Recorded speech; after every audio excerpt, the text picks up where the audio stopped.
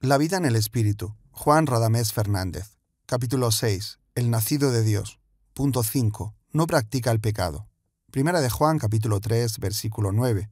Todo aquel que es nacido de Dios no practica el pecado, porque la simiente de Dios permanece en él y no puede pecar porque es nacido de Dios.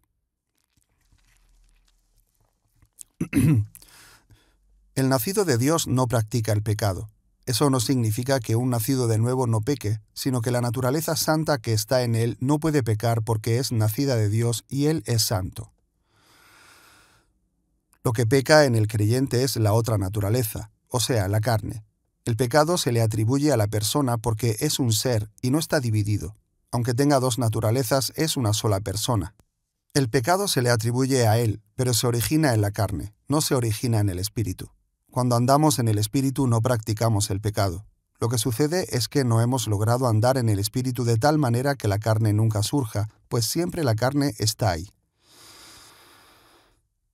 A veces esta naturaleza carnal está adormecida, pero en un descuido se manifiesta. Por eso hay que mantenerla totalmente sujeta.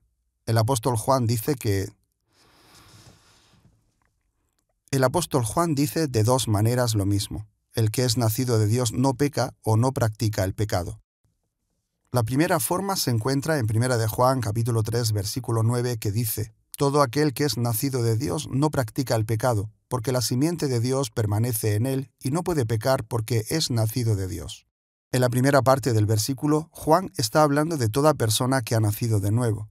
El que dice que el que ha nacido de Dios no practica el pecado o no vive en pecado, no es esclavo del pecado pero en la segunda parte del verso él dice la razón o la causa por la cual no practica el pecado, porque la simiente de Dios permanece en él y no puede pecar porque es nacido de Dios. La palabra simiente es la palabra griega esperma, de donde procede la palabra castellana esperma, secreción masculina o semen. El vocablo esperma también se traduce linaje, descendencia. Se usa en el Nuevo Testamento para referirse al linaje o descendencia natural, pero también se emplea para hacer alusión al linaje o a la descendencia espiritual. Por ejemplo, en Gálatas capítulo 3, versículos 26 y 29 dice, Pues todos sois hijos de Dios por la fe en Cristo Jesús, y si vosotros sois de Cristo, ciertamente linaje, esperma, de Abraham sois, y herederos según la promesa. En el versículo 16 de este mismo capítulo se traduce simiente refiriéndose a Jesús como la simiente de Abraham y dice, y a tu simiente, esperma, la cual es Cristo. También en Mateo capítulo 13 versículo 38 se traduce la buena semilla como simiente. Aplicando la parábola del trigo y la cizaña, Jesús dijo, el campo es el mundo, la buena semilla, esperma, son los hijos del reino, y la cizaña son los hijos del malo. Nota que la palabra esperma de Dios son los hijos del reino, o sea, los engendrados por Dios. Cuando un nacido de Dios vive en el Espíritu y no peca ni practica el pecado, la causa por la cual lo logra es porque la simiente de Dios permanece en él. Esa simiente es santa e incorruptible y no peca ni puede pecar porque posee la naturaleza de Dios. Pablo dice, y vestíos del nuevo hombre creado según Dios en la justicia y santidad de la verdad. Y Pedro dijo, siendo renacidos no de simiente corruptible, sino de incorruptible, por la palabra de Dios que vive y permanece para siempre. Prestemos atención a la segunda manera en que Juan dice que el hombre nacido de Dios no practica el pecado. Sabemos que todo aquel que ha nacido de Dios no practica el pecado, pues aquel que fue engendrado por Dios le guarda y el maligno no le toca. ¿Quién fue engendrado por Dios en nosotros sino nuestro hombre nuevo por el Espíritu? La obra de regeneración que Dios ha hecho en nosotros es lo que nos guarda del pecado y del maligno. Hay en nosotros una nueva creación y participamos de la naturaleza divina. Ahora hablamos como Dios, pensamos como Dios y juzgamos como Dios. La simiente, esperma de Dios, permanece en nosotros. Esta ama la santidad y aborrece el pecado. Si la simiente de Dios no permaneciera en nosotros, no tendríamos ni el querer ni el hacer de Dios. Además de tener una naturaleza espiritual que ama el bien y aborrece el mal, el Espíritu Santo mora en nosotros para fortalecer nuestro hombre interior y conducirnos a toda verdad. Según Juan, ¿por qué el nacido de Dios no practica el pecado? Primero, porque la simiente de Dios permanece en él. Y segundo, pues aquel que fue engendrado por Dios le guarda. Estas son las dos formas de decir lo mismo, lo que le da el deseo y el poder a un hombre nacido de Dios para someterse al Espíritu Santo y no vivir más en el pecado es la naturaleza espiritual que Dios creó en él. Existe una verdad que quiero recalcar en tu mente y la voy a repetir hasta que el Espíritu me lo permita porque es muy importante. La Biblia no dice en ninguna parte que santifiquemos la carne, la perfeccionemos, la eduquemos, la transformemos o la mejoremos. No, no dice eso. La Biblia habla de despojarse del viejo hombre con sus hechos y despojarse significa desvestirse, y habla también de matar la carne con sus deseos. Matar y desvestir son los vocablos que se usan en la Biblia para referirse a la naturaleza carnal, porque la carne no puede ser transformada, no nos engañemos. Quisiera que supieras discernir al escuchar un sermón en el cual el predicador te insinúe vencer el pecado con el método de la religión, lo cual consiste en hacer ejercicios religiosos o haciendo algún esfuerzo personal o tomando una determinación, porque así nunca lo vas a lograr. A veces la intención del mensajero es buena, pero el mensaje está errado. Los místicos de la Edad Media se apartaban a lugares desiertos y a veces en los conventos torturaban sus cuerpos con el propósito de domar la carne. Martín Lutero hacía como ellos. Él decía, parafraseando, Si con sacrificio se pudiera llegar al cielo, yo estuviera a la diestra de Dios sentado con él. Él atormentaba su cuerpo y hacía largos ayunos, a veces los superiores del convento tenían que arrastrarlo a la cama, moribundo, por los tantos ayunos a los cuales se sometía. También él castigaba su cuerpo. ¿Con qué fin? Para doblegar la carne y matarla. Pero la carne no se mata con sacrificios ni penitencias. Esa convicción solo la pudo inventar nuestro adversario para que vivamos frustrados. Pero la única manera de vencer la carne es haciendo lo que dice la palabra. Someteos, pues, a Dios, resistid al diablo y huirá de vosotros. No hay otra forma. ¿Cómo nos sometemos a Dios? Andando en el Espíritu. En vez de pelear con la carne, vístete de las armaduras de Dios, anda en el Espíritu. Cuando tu espíritu está fuerte, la carne está débil. Eso es automático. Cuando el espíritu está fuerte, la carne está neutralizada en nosotros. Tan sencillo como eso. Por eso la bendición del ayuno, porque el ayuno debilita a la carne y esta condición facilita al espíritu la comunión e intimidad con Dios. Por eso cuando oramos por alguien o ungimos con aceite a esa persona, ésta se cae al suelo. A veces hasta tiene trabajo para levantarse. Eso sucede porque al descender la unción del Espíritu Santo, el cuerpo inmediatamente se debilita.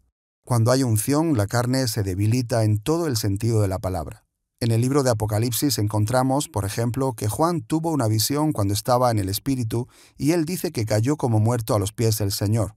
Juan vio a Jesús glorificado con su rostro como el sol y una espada aguda que salía de su boca y sus pies como el bronce. Y tanta fue la unción de Cristo que no la pudo soportar y se desmayó, cayendo desplomado al suelo. Cuando hay mucha unción, la carne se doblega de una vez. Daniel también cuando vio al Señor cayó desplomado y quedó como muerto. Notemos cómo él mismo lo narra. Quedé pues yo solo, y vi esta gran visión y no quedó fuerza en mí.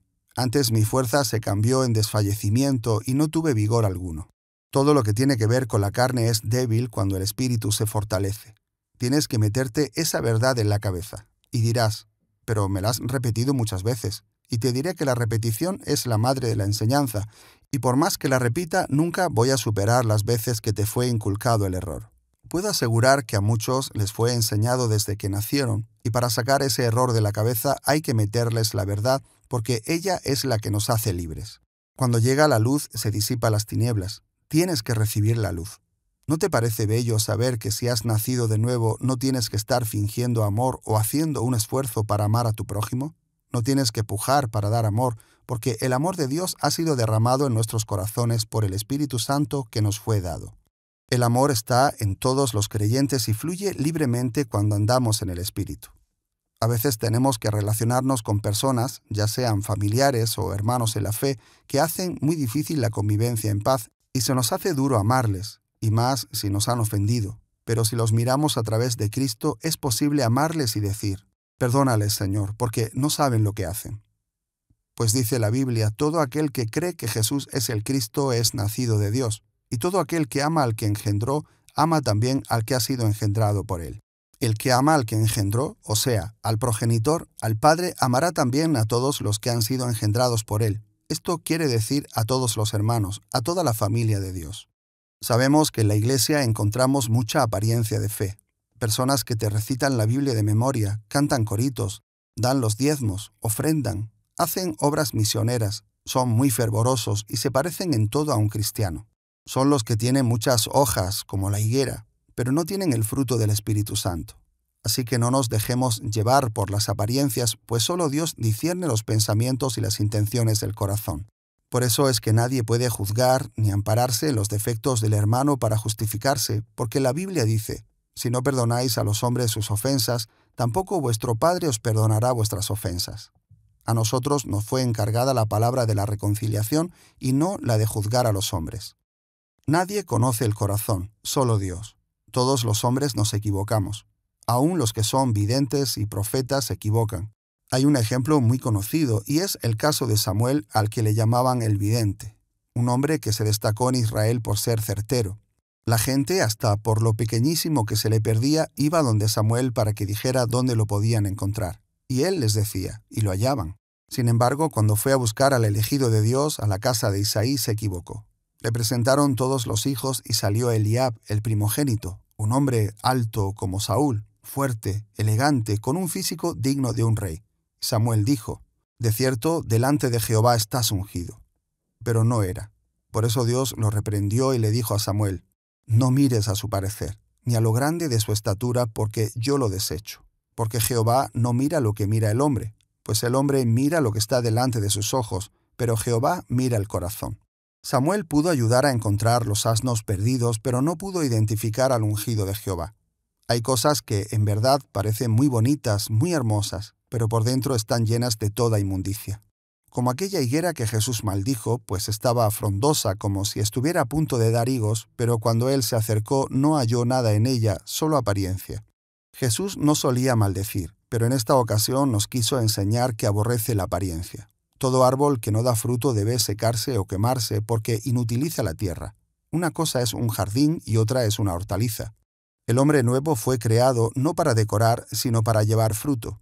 Esa apariencia de piedad que vemos hoy en las iglesias es la misma apostasía a la que se referían los apóstoles y profetas que sucedería en los últimos tiempos. Aquel espíritu del anticristo que Juan profetizó que había de venir. El apóstol Pablo, inspirado por el Espíritu Santo, en su epístola a Timoteo, dijo, Pero el Espíritu dice claramente que en los postreros tiempos algunos apostatarán de la fe, escuchando a espíritus engañadores y a doctrinas de demonios. También debes saber esto, dijo Pablo a Timoteo que los postreros días vendrán tiempos peligrosos, porque habrá hombres amadores de sí mismos, avaros, vanagloriosos, soberbios, blasfemos, desobedientes a los padres, ingratos, impíos, sin afecto natural, implacables, calumniadores, intemperantes, crueles, aborrecedores de lo bueno, traidores, impetuosos, infatuados, amadores de los deleites más que de Dios, que tendrán apariencia de piedad, pero negarán la eficacia de ella hombres corruptos de entendimiento, réprobos en cuanto a la fe. Es decir, el mismo Dios profetizó que una de las características de la apostasía de los últimos días es la de la gente con apariencia de piedad, pero que con sus acciones niegan la eficacia de ella. Son los que dicen que sin amor la vida no vale nada, pero viven entre chisme y discordias. Hablan del perdón y tienen sus corazones endurecidos por raíces de amarguras. Dicen que aman, pero viven tirando a la cara sus sacrificios. Por eso Jesús dijo, Toda planta que no plantó mi Padre Celestial será desarraigada. Todo el que no haya nacido de Dios, que no lo haya parido Él, será desarraigado de su pueblo. Dice la Biblia que el hombre espiritual todo lo juzga en el espíritu, por tanto no te dejes engañar por la apariencia. Sé sabio, sé un astuto espiritual. Jesús dijo, por sus frutos los conoceréis. ¿Acaso se recogen uvas de los espinos o higos de los abrojos? Recuerda que el árbol se conoce por sus frutos y como hemos visto en capítulos anteriores, el diablo puede falsificar los milagros, falsear las profecías, imitar los dones y hacer muchas cosas parecidas a las cosas de Dios. Pero hay algo que el diablo no puede dar, porque no lo tiene, y es el amor, el fruto del Espíritu. El diablo puede aparentar, pero no puede dar amor, gozo, fe, paz, benignidad, bondad, santidad, etc. Esa es la razón por lo que la palabra de Dios afirma que si dices que amas a Dios y no amas a tu hermano, no eres hijo de Dios, porque el nacido de Dios ama, no finge amor. El mentiroso y padre de mentira es el diablo, y los que actúan como él son de él.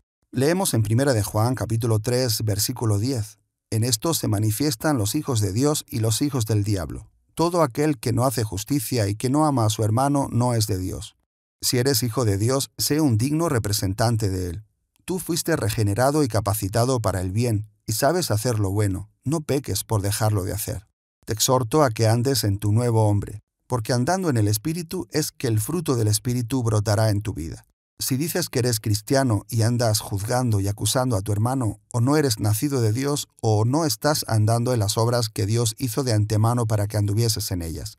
La palabra de Dios nos exhorta de la siguiente manera. Por lo cual, desechando la mentira, hablad verdad cada uno con su prójimo, porque somos miembros los unos de los otros. Airaos, pero no pequéis. No se ponga el sol sobre vuestro enojo, ni deis lugar al diablo. El que hurtaba no hurte más, sino trabaje haciendo con sus manos lo que es bueno, para que tenga que compartir con el que padece necesidad. Ninguna palabra corrompida salga de vuestra boca, sino la que sea buena para la necesaria edificación, a fin de dar gracia a los oyentes. Y no contristéis al Espíritu Santo de Dios, con el cual fuisteis sellados para el día de la redención. Efesios capítulo 4, versículos 25 al 30. ¿De qué manera podemos probar si una manifestación espiritual proviene del Espíritu? Por lo que produzca en ti. Si te produce miedo, no es de Dios, aunque parezca lindo, porque en Dios no hay temor. Si te produce opresión, no es de Dios, porque en Él hay paz. Si te produce desesperación, no es de Dios, porque en Él hay esperanza. Si produce en ti culpabilidad, no es de Dios, porque Dios solo produce arrepentimiento y perdón. Si te produce sospechas en cuanto a los hermanos, división, duda en cuanto a la iglesia o a la integridad de los hermanos, no es de Dios, porque Dios no se mueve de esa manera si produce en ti fe, confianza, seguridad y contrición que te lleva al arrepentimiento, a mejorar tu vida espiritual, a acercarte a Dios, a amar a los hermanos, a confiar en el Señor, ahí está el Espíritu de Dios obrando. Hay mucha apariencia de piedad en los últimos días en las iglesias, y esa es una señal de la apostasía. Solamente una persona nacida de Dios puede dar el fruto de Dios. A Dios únicamente lo ve el que es espiritual porque Él es espíritu y hay que verlo en el espíritu. Nadie que no haya nacido de nuevo puede ver el reino de los cielos. Dijo Juan, si sabéis que Él es justo, sabed también que todo el que hace justicia es nacido de Él. Una persona que no ha nacido de Dios no puede obrar justicia. Hoy se habla de la justicia social y hay muchos cristianos que participan activamente en esos movimientos, pero los mismos son engañados porque solamente la justicia viene de Dios. Exclusivamente Dios y los nacidos de Él pueden dar el fruto de justicia. Nosotros somos los llamados a gobernar y a regir la herencia de nuestro Padre Celestial, y este mundo pertenece a Cristo porque ya fue ganado con su sangre.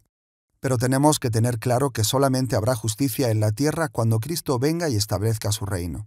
Cuando el príncipe Emanuel, que es llamado Jehová justicia nuestra, venga y se establezca, dice la Biblia que Él hará justicia y juicio en la tierra. En la actualidad, únicamente los que han nacido de Dios pueden vivir la justicia en este mundo. ¿Quiénes son los que vencen al mundo? ¿Quiénes son los triunfadores, los grandes conquistadores de la historia? Alejandro Magno, Julio César, Napoleón Bonaparte, etc., o los nacidos de Dios. La Biblia dice que todo lo que es nacido de Dios vence al mundo. Cuando la Biblia dice todo, significa que cada parte de la naturaleza de Dios en mí vence al mundo. Cualquier cosa de esta vida puede ser vencida por esa naturaleza. No hay nada en esta vida que pueda prevalecer contra nosotros, pues el Espíritu Santo vive en nuestro hombre interior. Por eso hemos vencido, porque mayor es el que está en nosotros que el que está en el mundo. Y sabemos que el que está en la tierra, dice la Biblia, es el príncipe de este mundo que ha sido echado fuera y ya no tiene dominio en nuestras vidas. El que se aparta de Dios pierde el poder para resistirlo, porque el poder solamente está en Dios. Un hombre nacido de Dios tiene poder para vencer las potestades de las tinieblas. El cristiano no anda en temor, porque es vencedor por medio de aquel que le amó. Esa fue la seguridad y la confianza que tuvo el apóstol Pablo cuando dijo, ¿quién nos separará del amor de Cristo? ¿Tribulación o angustia o persecución o hambre o desnudez o peligro o espada? Antes, en todas estas cosas, somos más que vencedores por medio de aquel que nos amó. Por lo cual estoy seguro de que ni la muerte ni la vida, ni ángeles, ni principados, ni potestades, ni lo presente, ni lo porvenir, ni lo alto, ni lo profundo, ni ninguna otra cosa creada nos podrá separar del amor de Dios que es en Cristo Jesús, Señor nuestro. Amado, Dios no nos ha dado espíritu de cobardía, sino de poder, de amor y de dominio propio. Echa fuera el temor. El diablo sabe, desde que tú naces, si eres o no un elegido de Dios, si serás o no nacido de Dios, porque Él ve la atención que los ángeles te dispensan desde antes de nacer. El diablo ve desde el momento del nacimiento de un elegido de Dios en este mundo que hay una escolta especial de ángeles cuidando a esa persona, por lo que dice, aquí hay uno de ellos, tengo que separarlo de Dios antes de que el Espíritu Santo lo encuentre. Cristo ya lo salvó, pero éste no lo sabrá hasta que sea demasiado tarde. Y eso todos los que han nacido de Dios lo saben, porque desde la niñez han estado a punto de perder sus vidas, y muchos han vivido el dolor y la opresión que el diablo ejerce en sus vidas a fin de destruirlos para que ellos no lleguen a asir la bendición divina. Él quiere evitar que el plan de Dios se cumpla en la vida de los elegidos de Dios, y a veces logra por un largo tiempo afligirlos y entenebrecerlos, pero las puertas del infierno no prevalecerán contra la Iglesia, porque el fundamento de Dios está firme, teniendo este sello. Conoce el Señor a los que son suyos, y apártese de iniquidad todo aquel que invoca el nombre de Cristo. Gózate y da voces de júbilo, porque ya Dios venció en ti, y no hay agüero contra Jacob, y será dicho de ti, lo que ha hecho Dios. Aplica este mensaje a tu vida. Sé que hay hermanos que están pasando por tribulaciones y grandes cautividades. Algunos están pasando por enormes dificultades y el diablo les ha metido la mentira de que se van a perder, que no hay para ellos salvación, que van a perder el trabajo o su familia, etc. Otros tienen problemas de enfermedad o de otras índoles, pero te exhorto, pelea, hermano, levántate y resiste, créele a Dios, di, yo he nacido de nuevo, yo soy un hijo de Dios, no hay una cosa a la que el diablo le tenga más miedo que a un cristiano seguro de lo que es en Cristo. El adversario le teme a un creyente que confiesa la promesa de Dios en su vida. De esa manera, él fue vencido por Cristo en el desierto. Cuando le tentó, él lo confrontó y lo resistió con la palabra, porque la palabra de Dios es viva y eficaz y más cortante que toda espada de dos filos, y penetra hasta partir el alma y el espíritu, las coyunturas y los tuétanos, y discierne los pensamientos y las intenciones del corazón. La palabra de Dios es como espada desenvainada, que como y donde quiera que la pases corta, porque tiene filo por doquier. Y de la boca de Jesús, que es el verbo de Dios, salía la palabra, la espada aguda de dos filos. ¿Quién puede contra la palabra de Dios? ¿No fueron hechos los cielos y la tierra por su palabra? ¿No redimió Dios al hombre a través de la palabra, porque la palabra se hizo carne y vida entre nosotros? Por eso dijo, las palabras que yo os he hablado son espíritu y son vida.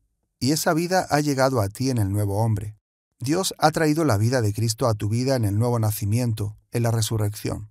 A eso se refiere la Biblia cuando dice, fuisteis también resucitados con Él mediante la fe en el poder de Dios que le levantó de los muertos. Hemos resucitado juntamente con Cristo en cuanto a nuestra posición, porque estábamos muertos para Dios. Él no nos veía, pero ahora nos ve, porque nos mira en el amado.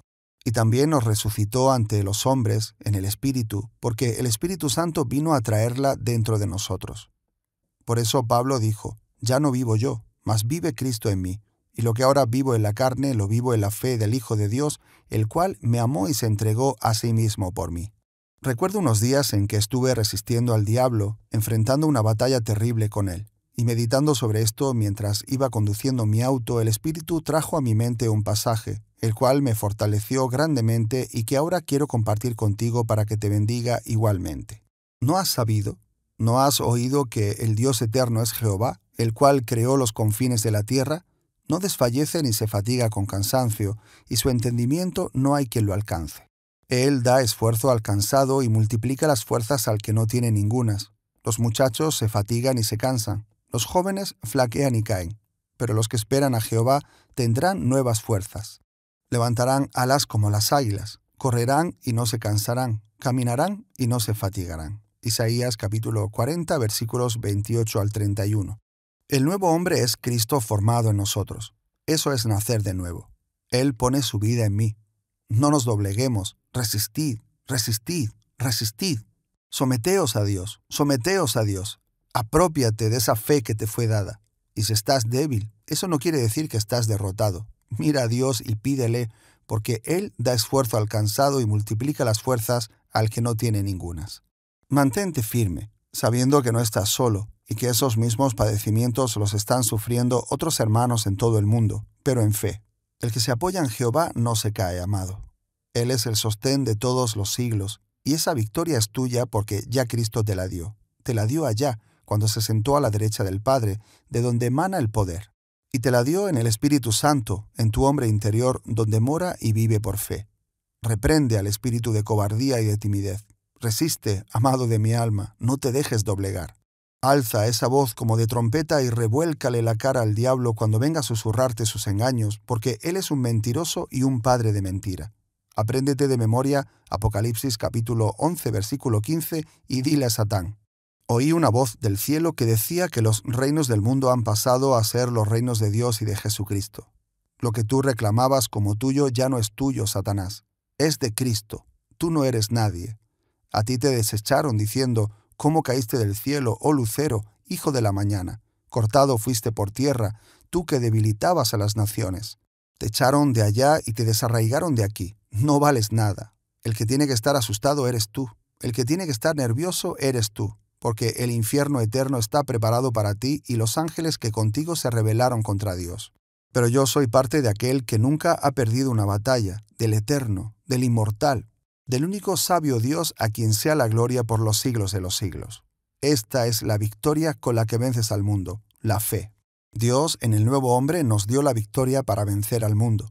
La fe es nuestro tesoro más preciado.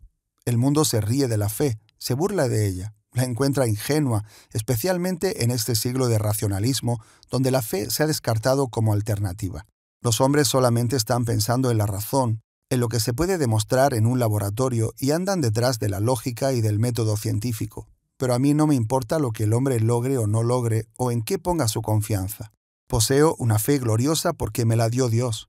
Esa fe no la tengo porque quise tenerla ni porque la fabriqué, sino que Dios quiso dármela por gracia. Esa fe contradice al mundo porque todo lo que hay en él, los deseos de la carne, los deseos de los ojos y la vanagloria de la vida, no provienen del Padre, sino del mundo. El mundo pasa y sus deseos, pero el que hace la voluntad de Dios permanece para siempre. Un día el mundo pasará y con él sus vanos deseos, pero la fe y los que son de la fe permanecerán para siempre. Por eso Dios te dice, retén lo que tienes para que ninguno tome tu corona. Un hombre nacido de nuevo siempre está lleno de denuedo porque el Espíritu Santo vive en nosotros. El Espíritu de Dios es un espíritu de valentía y de coraje. Jesús dijo, El reino de los cielos sufre violencia y los violentos lo arrebatan. Y esa osadía nos la dio el Señor. ¿Qué veían los enemigos de Dios en los apóstoles? La Biblia dice, viendo el denuedo de Pedro y de Juan, y sabiendo que eran hombres sin letras y del vulgo, se maravillaban, y les reconocían que habían estado con Jesús. Esto quiere decir que reconocían que el Señor era un hombre valiente y firme y que nada de lo que estos hombres sencillos poseían pudo provenir de ellos mismos, sino de alguien superior. Vemos en el Evangelio de Juan que Pilato le dijo a Jesús, ¿A mí no me hablas? ¿No sabes que tengo autoridad para crucificarte y que tengo autoridad para soltarte? Y nuestro Señor le contestó, Ninguna autoridad tendrías contra mí si no te fuese dada de arriba, porque la autoridad viene de Dios. En última instancia, nadie tiene autoridad sino el que la recibe de Dios. La única autoridad absoluta es la de nuestro Señor y Él te la dio en Cristo Jesús. Esa autoridad está en el nuevo hombre en ti. Por eso es que tenemos que andar en el Espíritu, porque cuando andamos en el Espíritu, esa unción está en nosotros permanentemente. Dice Juan que cuando vio a Jesús le vio sus ojos como llama de fuego, es decir, tenía una mirada penetrante. Me imagino esas llamas de fuego, esa unción, esa autoridad que emana de la mirada de un hombre que está lleno del Espíritu Santo. ¿No pasó así también con Esteban? Todos los que estaban sentados en el concilio para juzgarlo vieron su rostro como el de un ángel y no podían resistir su sabiduría. Igualmente pasa contigo cuando estás lleno del Espíritu Santo y andas en el Espíritu.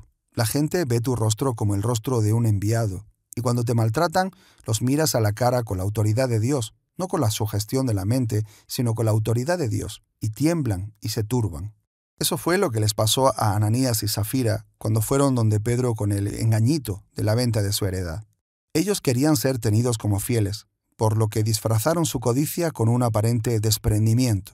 Llegaron ahí con la mentira diciendo que lo habían vendido a un precio cuando en realidad era otro. Y cuando Pedro lo miró, sé que en su mente jugaba una pregunta. ¿Por qué viene este hermano con este engaño? Aquí nadie le ha pedido nada, y mucho menos su herencia. ¿Cómo este hermano no se ha dado cuenta de que no estamos en religión, sino en la gracia y en la libertad del Espíritu? Entonces Pedro le inquirió, reteniéndola, ¿no se te quedaba a ti? ¿Y vendida, no estaba en tu poder? ¿Por qué pusiste esto en tu corazón? No has mentido a los hombres, sino a Dios. Y cuando Pedro lo miró a la cara, cayó muerto. Murió porque no pudo resistir la espada del Espíritu. Y te digo otra cosa, van a llegar los días en la iglesia donde los mentirosos caerán también. Aquella era una iglesia muy santa, donde la gente entregaba toda su vida y hasta su herencia sin manipulación. Lo hacían motivados por el amor y por el espíritu que le había dado la convicción. Igualmente caerán aquellos que vengan con engaños, en un ambiente de santidad y de integridad. Cuando Jesús miraba a la gente, dice la Biblia que les leía hasta la intención del corazón. La gente sabía que estaba en la presencia de alguien que podía leer sus pensamientos. Dice la palabra que él no se confiaba de ningún hombre, porque conocía lo que había dentro de ellos, y era con los ojos del Espíritu que miraba. Y si nosotros andamos en el Espíritu, vamos a tener esa percepción de Dios para distinguir la mentira de la verdad, las tinieblas de la luz.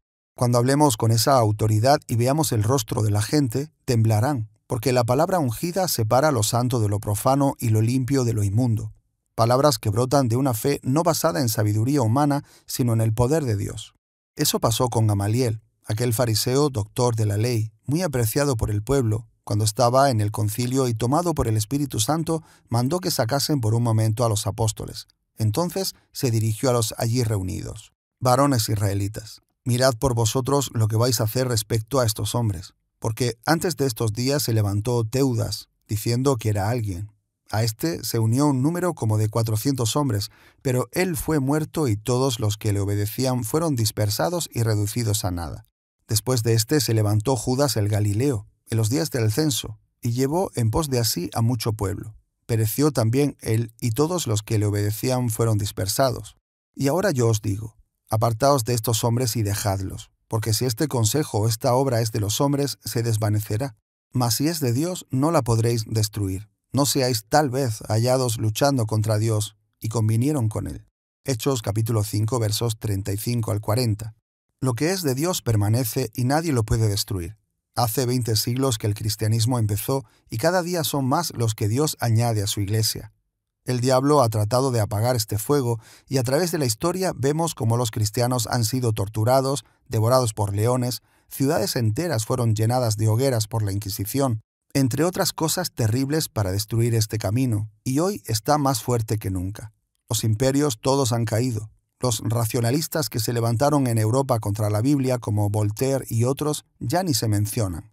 Los comunistas también se levantaron. Karl Marx estableció un sistema ateo y junto a otros llenaron el mundo de libros anticristianos con un espíritu antibíblico. Hoy ya se cayeron las murallas de Berlín y ahora la Biblia se está vendiendo en el mismo corazón del comunismo. Con Dios no hay quien pueda. El cristianismo no es una filosofía o una religión más, el Evangelio es el poder de Dios para la salvación de los hombres. El Evangelio es salvación y eso hace la diferencia entre el judaísmo, maometismo o islamismo, brahmanismo y todos esos ismos. Son muchos los que han querido destruir el cristianismo, pero solo lo de Dios permanece. Si esto hubiese venido de los hombres, ya hubiese acabado, porque son más los que se desvían tras la mentira pero el cristianismo está fundamentado en el espíritu de verdad y nada puede recibir el hombre si no le fuere dado del cielo. El que viene de arriba es sobre todos. El Evangelio bajó del cielo y vino para quedarse. Vemos que Jesucristo vivió de tal manera que todo el mundo lo quiere en sus filas. Los comunistas dicen que Cristo fue el primer comunista. Los judíos, aunque no lo reconocen como Mesías, admiten que era un hombre honesto, fiel, un gran maestro y profeta. Los musulmanes tienen a Jesús como uno de los grandes profetas de Dios. Aún el diablo y sus legiones, cuando lo veían, le clamaban diciendo, ¿Qué tienes con nosotros, Jesús, Hijo de Dios? ¿Has venido acá para atormentarnos antes de tiempo? Es que ni el diablo, que no quiere que nadie venga a Cristo, puede decir nada malo de él. No se atreve a decirlo, porque no tiene nada que decir del Nazareno.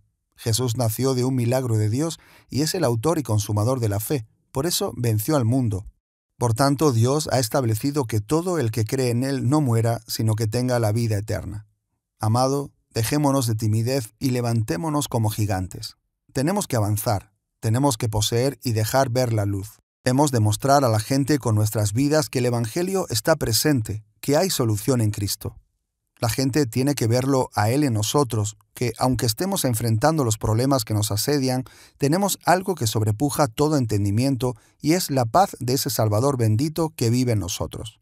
Tengamos el valor que tuvieron los mártires de Cristo, que no se doblegaron frente al furor de los dientes de los leones, ni se dejaron amilanar por el fuego de las hogueras, ni por las grandes persecuciones, sino que levantaban su rostro a lo alto, invocando el nombre del Señor, manteniendo el estandarte glorioso de la fe en Jesucristo.